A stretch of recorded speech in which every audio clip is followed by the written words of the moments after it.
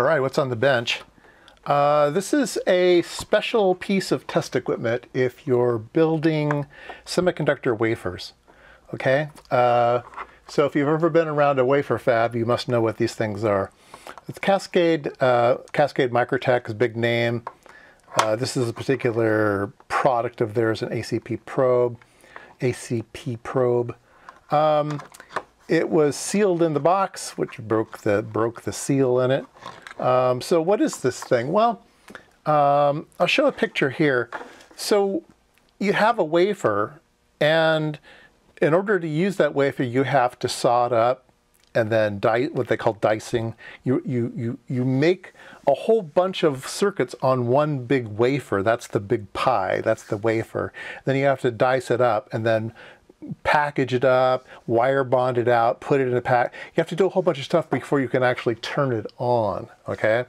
Well, wouldn't it be nice to be able to test wafers without having to saw them up, without having to do all, all that other stuff? Well, you can.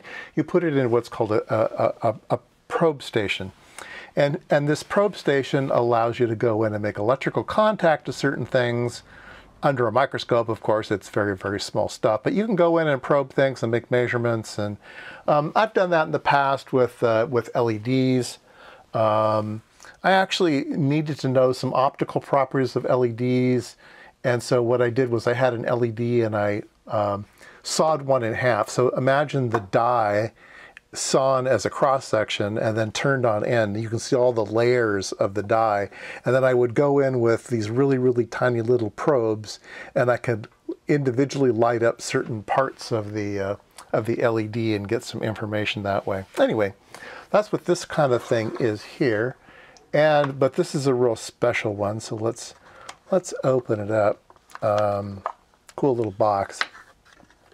So it uh, is just the probe. So you would take this thing and you would attach it to uh, an, a manipulator, which can move it in X, Y, and Z. I used to have some, but I sold them all. They make, I got good money for them. um, but it would this you could make this in X, Y, and Z. And so uh, let me explain how this thing works. This is just a little uh, cap. There we go. All right, so there's a, a, connector here. It looks kind of like an SMA connector, but it's not. It's super high frequency. This is a 1.85 millimeter connector. So just the connector itself is, you can't afford this thing. Um, so 1. Uh, 1.85 millimeter connector. This probe was specified at 65 gigahertz. All right, so it's a 65 gigahertz probe. So what does it mean to be a probe? Is that just a little wire sticking out there? So you, here's your wafer, and you're going to go along. and You can probe around. No, no, no, no, no, no, no. You can see. I'll show you some uh, pictures under the microscope here. This um, probe is actually a tiny little coax. And that little coax goes out to a forked tongue so that the coax is split in half and then two sections of the coax come in left and right. And then there's a center conductor that's the remainder part of the coax, the center conductor. And so way out at the tip are three conductors, ground, ground, and, and, uh, and uh, the, the, the uh, contact. And so you can basically go in and measure uh, a 50 ohm transmission line that's teeny, teeny, teeny, teeny, tiny. And uh, you can make your spectrum analyzer or VNA measurements or whatever you need to do.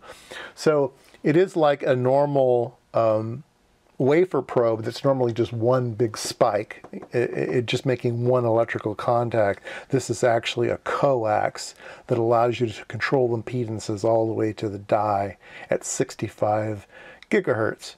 And uh, the reason I have this one is it was in the junk pile because 65 gigahertz is just no good anymore.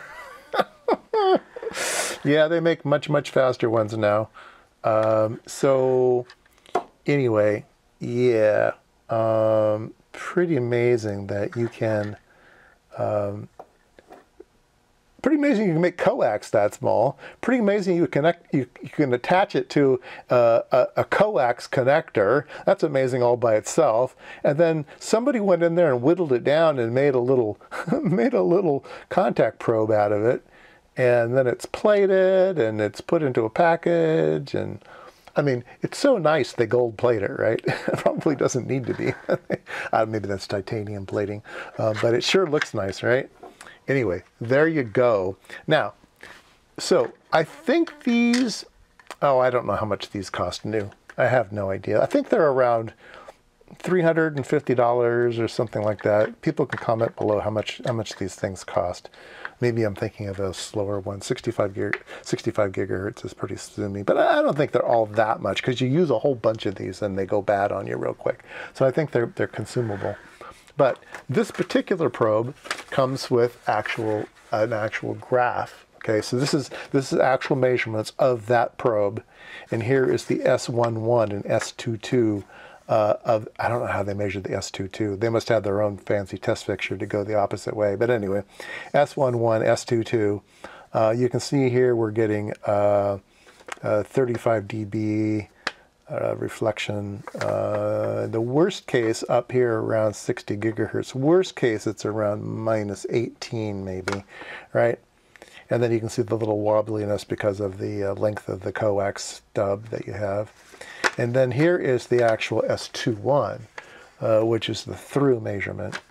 And you have, uh, at, at, the very, very worst, it's 0.8 dB loss. Um, so yeah, that's pretty amazing. Uh, let's see here, the pitch, 150 uh, microns. Uh, the tip material is beryllium copper. Connector 1.85 millimeters, 65 gigahertz. Here is the capacitance, uh, uh, 9.7 femtofarads, uh, picohenries, 4.8 picohenries of short termination, I don't know, load impedance 50 ohms. ISS, what is ISS? I don't know what that number is. Anyway, uh, yeah, there you go. Uh, anything on the back? Yeah. Uh, this is the printout. So we can look at the individual numbers here. S21, worst case, is minus, minus 8, 8 so 0.82, 0.82 dB loss at worst case. And uh, yeah, most of the time it's around 0.5, 0.6. Yeah, really, really really, really cool stuff. So anyway, that's what you pay for. Get these cool little, uh, cool little probes and test your communication wafers and stuff. Anyway, there you go.